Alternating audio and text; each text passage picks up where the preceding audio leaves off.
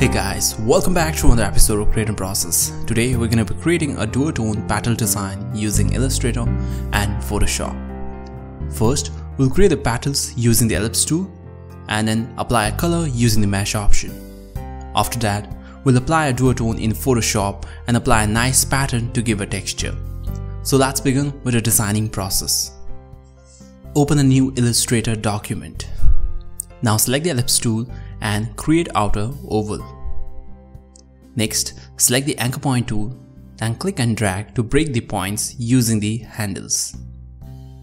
Now using the direct selection tool, we can adjust the shapes by adjusting the handles. Adjust it properly to give a soft petal effect. Once you're done, take a copy by holding the Alt key. Next, click on the reflect option. First, set the angle to vertical and click OK. Then again open the reflect panel, set the angle to horizontal and click OK. Then place it on the shape. After that, select the first shape and arrange it to front. Then using a direct selection tool, edit the shape to give a petal shape.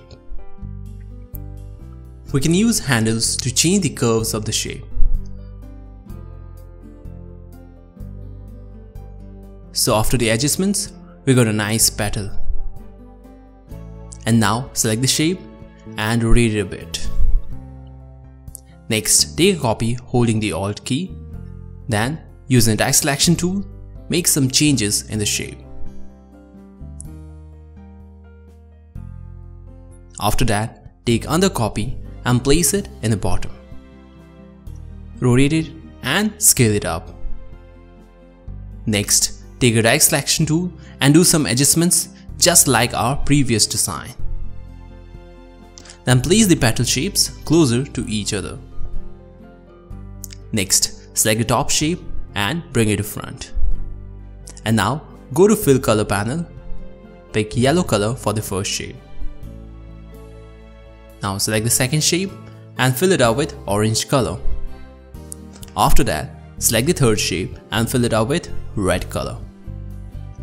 Next, select all the three shapes and disable the stroke. Now, select the first shape and using the mesh tool, add some anchor points on the surface. After that, take a direct selection tool and select the anchor points of the edges. Open the color palette and choose some dark yellow color. Next, we'll give some dark yellow color to the middle anchor points of the pattern. So select the anchor points using the direct selection tool and pick the color using the eyedropper. This will add a highlight to the shape with more depth. In the next step, we'll add some mesh points to the undersurface. Add the anchor points where we need to apply a darker color like shadow. So select the points and pick a darker yellow color.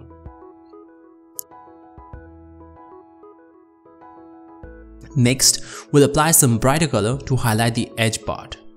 For that, select the points on the edges and pick a brighter color. So we got a nice better shape with a nice shadows and highlights. Next, we'll add some mesh anchor points for the second shape.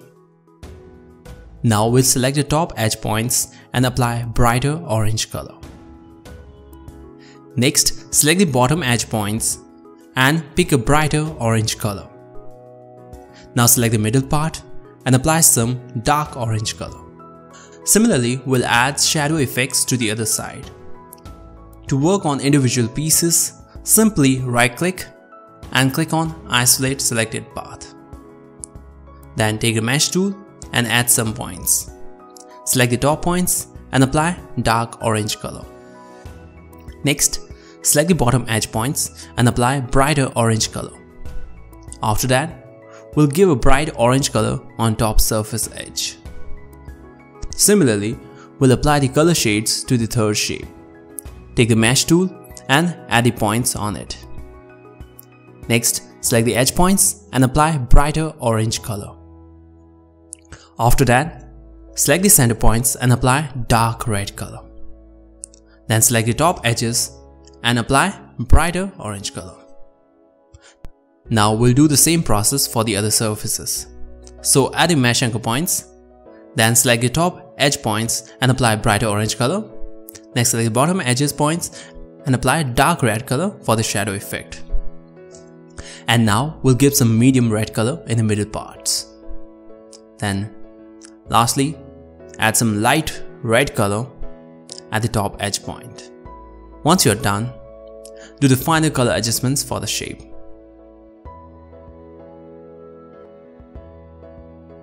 Now we'll select all the shapes and continue editing in Photoshop. To do that, open a new Photoshop document. Then double click on the layer to unlock it. Next, change the background color to blue using the shortcut Alt Backspace. Now go to Illustrator and simply drag and drop it a shape to the Photoshop document. Then scale it up a little bit.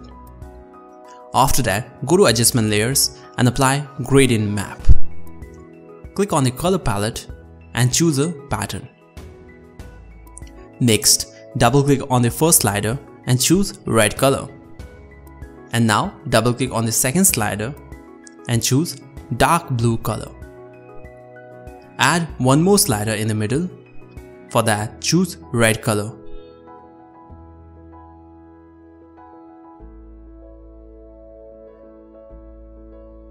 Next, go to select, color range and here pick a color with a shift pressed. Select the central region and click OK. This will make a selection. After that, take a copy of the vertical shape layer and apply mask to it. After that, change the blend mode to screen. Decrease the fill value to around 30. Then, select both the layers and press Command or Ctrl G to group it up. After that, clip the gradient map only to the group with the Alt pressed. And now, select the mask layer and edit the fill value. Then, double click on the first layer to open the layer style panel. In that panel, apply pattern overlay and change the blend mode to overlay. Select a suitable pattern and decrease the scale. Also decrease some opacity and click OK. Next, select the adjustment layer and open gradient color panel. Here, edit the sliders to give a nice contrast with blue and red color. Next, add a new layer and apply light color. Then change the blend mode to overlay. Now open layer style panel and apply gradient overlay. Here change the blend mode to overlay. Now let's change the layer blend mode to multiply.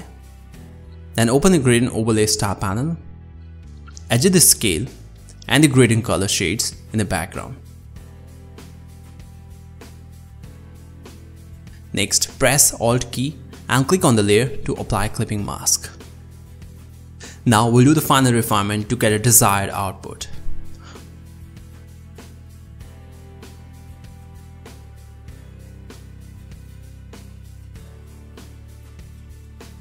After that, take a text tool by pressing the T, type out some text and set a suitable font style. Adjust the vertical and the horizontal spacing between each alphabets. Play around with the color combination to give a catchy look. Next, adjust the size of the shape and the text. Take a text tool again and type plus. Set a suitable font size and style for that. Then pressing Alt, take a copy and place them on the four corners.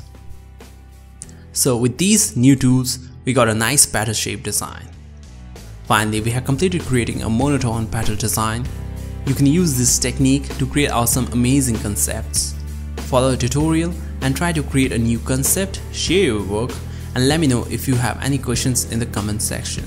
I hope you enjoyed the tutorial. Don't forget to check out the next tutorial coming up and if you want more updates on designing, don't forget to like, share and subscribe this channel. Thank you.